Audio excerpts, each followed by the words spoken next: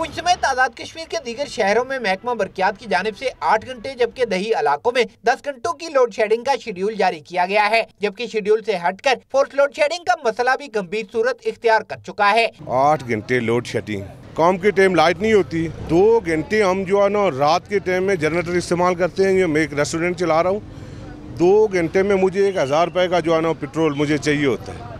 महँगाई के इस तूफ़ान में हम सिर्फ़ गाग बचा रहे हैं, पैसे नहीं बचा रहे। पेट्रोल भी इतना महँगा है, उसके बावजूद भी किसी के पास जनरेटर है, किसी के पास नहीं है, लाइट की वजह से बहुत परेशानी उठानी पड़ रही है इस टाइम दिन में तो ज़्यादा से ज़्यादा दो घंटे लोड शेडिंग होनी चाहिए पूरा दिन तो नहीं ना लोड शेडिंग होनी चाहिए। गर्म मौसम और जारी माह सयाम में लोड शेडिंग से रोजेदार जहाँ अजियत में मुबतला है तो शहरी और अफ्तारी के औकात में बिजली की बंदिश ने रही सही कसर भी निकाल दी है। यूपीएस चार्ज हो ही नहीं रहा है। घंटे के बाद बिजली आती है घंटा गायब होती है। बिजली न होने की वजह से कस्टमर इतना सफ़र कर रहा है। इट्सल्फ हम इतना खुद बजाते खुद इतना सफ़र कर रहे हैं। तरावियाँ भी होती हैं सब रोज़ रोज़ा रखते हैं सुबह उठते हैं। फिर उस वक्त अगर बिजली ना हो उस वक्त परेशानी होती है।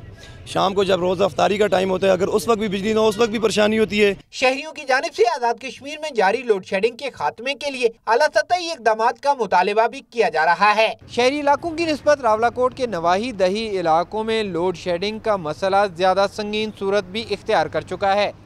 कैमरामैन मोहम्मद नवीद के साथ तकील हसन दुनिया न्यूज़ पुंछ आज़ाद कश्मीर।